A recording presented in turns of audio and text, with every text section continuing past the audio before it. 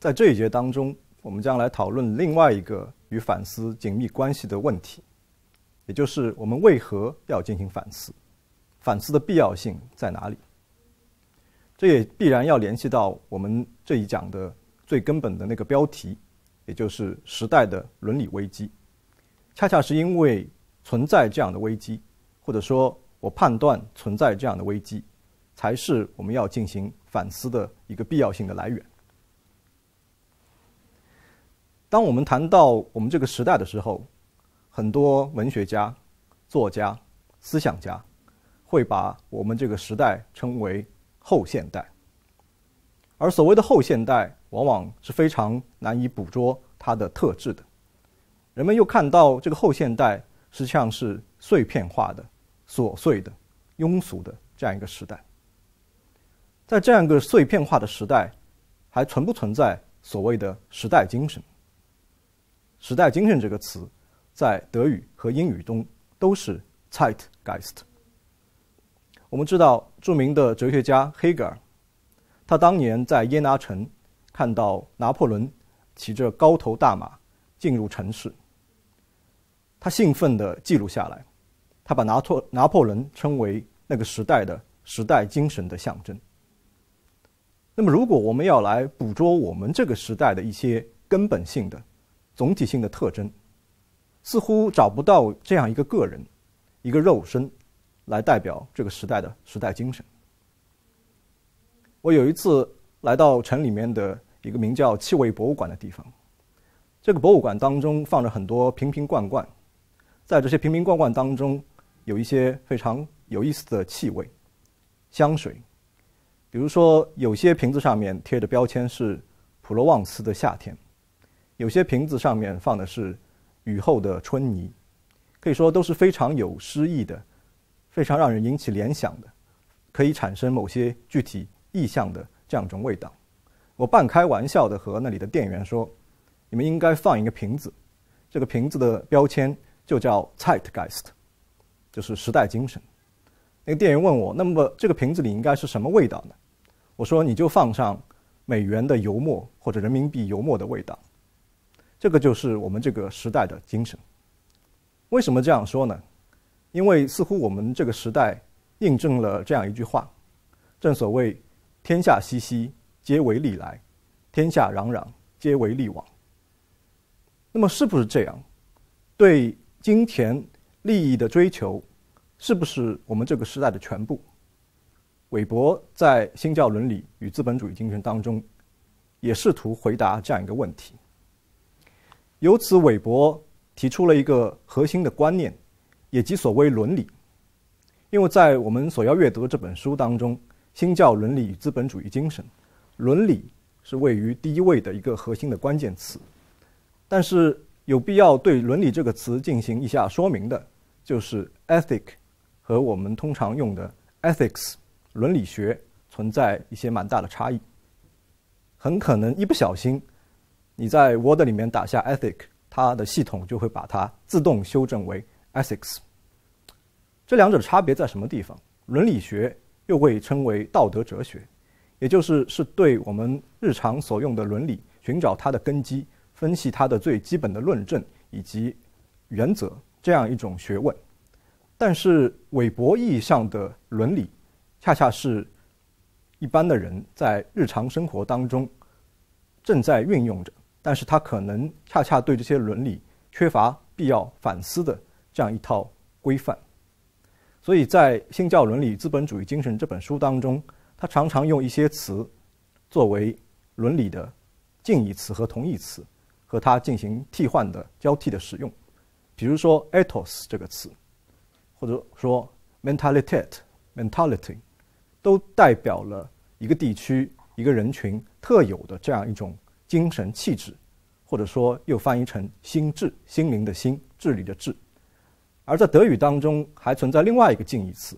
它就是 Lebensführung，很长的一个词汇，实际上是就是两部分，就是 Leben 加上 Führen 这个动词结合在一起，然后对它进行名词化。其实有的翻译把它翻译为生活方式，或者说生活导引，但是我们可以把它翻成非常直白、朴实的。这个词代表就是过日子。也就是说，在韦伯的意义上，在他谈论什么是伦理的时候，他谈论的是对于一个人，你选择一种怎样的生活方式，你选择一种怎样过日子的方式。这其实对于每个人来说，都是人生当中根本的绕不过的问题。那么，就像在我们这一周的总标题当中所表述的那样，我们这个时代存在一个整体性的伦理性的危机。这样一种危机，首先表现在金融方面。我们知道，在二零零九年华尔街所爆发的这样一个金融危机、次贷危机之后，获利的仅仅是华尔街那些极少数的金融之狼、大金融家。他们为了获利的目的，设计了很多的金融衍生产品。但是，这样一个结果，金融海啸的结果。可能是要世界上千千万万的人来承担。我们知道，在二战的时候，英国首相丘吉尔曾经说过这样一段话，他说：“在人类历史上，从来没有这种状况，也就是这么多人的命运掌握在这么少人的手中。”他所说的这种状况，实际上是指的英国皇家空军的飞行员为了抵御纳粹的入侵而拼死作战。这样一种判断。如果我们加以负面的运用，同样也适用于金融危机当中。在人类历史当中，从来没有这么多人的命运掌握在这么少人的手中。那些一小撮的华尔街的金融资本家，他们的决定，他们对金钱的追逐，对名利的追逐，最后产生的结果，可能影响到很多素昧平生的人物。甚至是远在爪哇岛上的一个农民，可能是远在印度的某个孟买城市当中的城市平民，他因为这个金融危机而失去了自己的住房。这样一种对于金钱的追逐，这样一种金融危机所引发的海啸，最终应该由谁来负责任？是金融家本身吗？是资本主义吗？对于这些问题，马克思韦伯都会在《新教伦理与资本主义精神》这本书当中给予他的回答。同样的，在我们日常生活当中所碰到的食品危机的问题，也有类似的结构或者说类似的逻辑。为什么在关乎婴儿的健康的根本的这样一种婴儿奶粉的产品当中，居然也有人敢敢于？冒险冒天下之大不韪，来生产毒奶粉，仅仅是为了提高奶粉中的蛋白质的含量。这背后包含了一种怎样的心理？这里面是不是有一种伦理？为什么有人要选择这样一种生活方式？也就是为了挣钱而无所不为，无所顾忌。我们还可以举一些例子，比如说生态危机。我选的这张图片是来自于。新华社这张图片是非常有标志性意义的，就是在一个北京的雾霾天当中，天安门广场上竖起了一个 LED 屏，这个 LED 屏闪现的是我们心目中的那个美好的生活——蓝天白云。当我们谈论起空气污染、生态问题的时候，每个人都对它表示深恶痛绝。但是，当我问起身边的一些同学、朋友，他们对这个问题的回答可能是：他们并不愿意实际上为这个生态问题的解决做出一些个人生活的改变。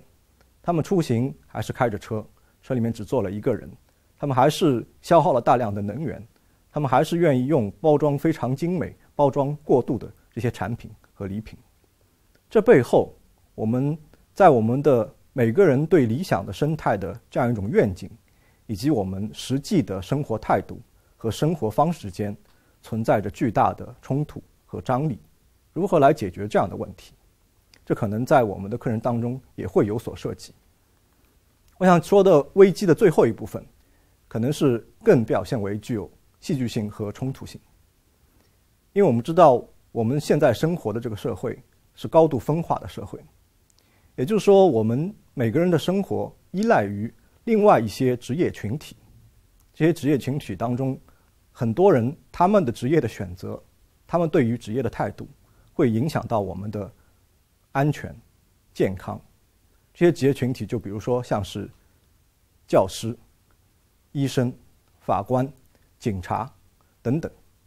我们可能平时感觉不到他们的重要性，但是一旦个人生命安全处于危险之中，或者说患上某种疾病，这样一种人和人的相互依赖就凸显出来。换言之，当一个人选择从事这样的职业，当一个警察、法官或者医生的时候，如果他仅仅将这个职业视为一种维持生活的一个手段的话，那么很可能产生背离这个职业目标本身的一些行为。这更可能会导致其他人的生命陷入危险、陷入不义之地。所以，对我们现代人来说，很难来区分所谓的职业和生计这两者的关系。就像我刚才所说。很多人在从事他的职业的时候，其实是不务正业，或者说，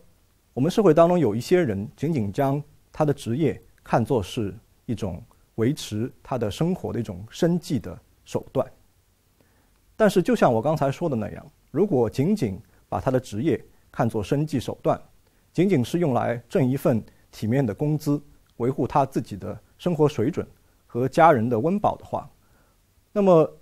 在某些可能性情况下，有人给出更多的钱，有人给出更具有诱惑的条件，他就可能放弃这份职业，转投其他的目标。这是一种极端的状况，而且是每个人可能都面临这样一种窘迫的选择。那么，有没有存在另外一种极端的一种情况？就像麦当劳的广告语所说的那样：“I'm loving it，我就喜欢。”也就是有没有人从事一份职业，他并不是仅仅为了仅仅满足自己的生计和温饱，而是他认为他本身对这些职业有一份奉献和投入精神，他就是适合来从事这个职业。对于职业的问题，马克思韦伯在《新教伦理与资本主义精神》当中也会作为一个核心的章节和观念来加以讨论。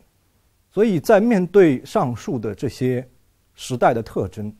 或者说我所总结的伦理危机的时候，每个人都是无法回避、无法逃遁的。或者说，我们这个时代最难的问题就是直面本心，非常诚实的来面对自己，来关照我们自己当下的生活状态，以及整个人类在这个时代当中表现出来的一些根本特征。那么，我希望通过这个课程，通过对马克思韦伯《新教伦理与资本主义精神》的深度阅读，至少可以让大家初步来看到这些问题，并试图来给出自己的解答。